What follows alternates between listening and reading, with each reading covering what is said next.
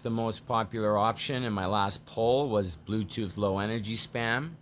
So what Bluetooth low energy spam does is the flipper will send Bluetooth packets and nearby devices the they have to be between 5 and 7 meters close to the flipper for this to work on the person's device they will get a whole bunch of bluetooth requests so i'm going to show you how this works this is going to be a very brief video because there's not much to it so i'm going to open the app you have all oh, you have 11 options so you have everything in the kitchen sink which floods all the different types of attacks at once to all different types of devices You've got the Bluetooth settings flood, which I'll show you in a second.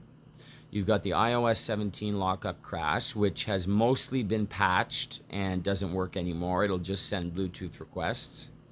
You have your Apple uh, pop up. You have your Apple um, device pop up. You have your Android device uh, pop up, your Samsung Buds pop up, your Samsung Watch pop up then you have for Windows computers, and then you have these two silly ones for love spouse sex toys. So I'm going to go to the beginning. I'm going to show you everything in the kitchen sink as well as Bluetooth settings flood.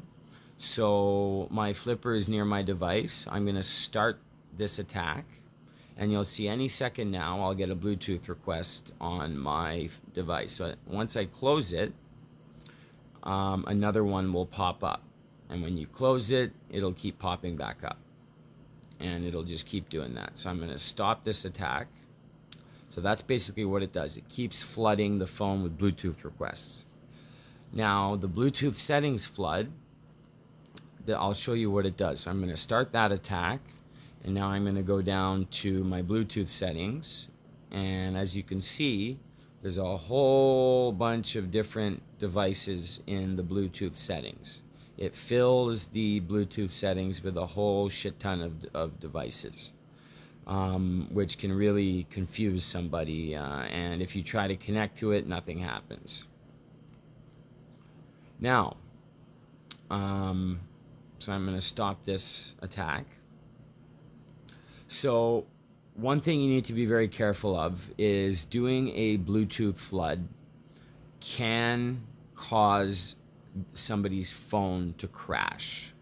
And there was this one particular incident where somebody did this on somebody's phone, and the person's phone was controlling their insulin pump, and they basically went uh, into um, uh, a, a very bad blood sugar situation.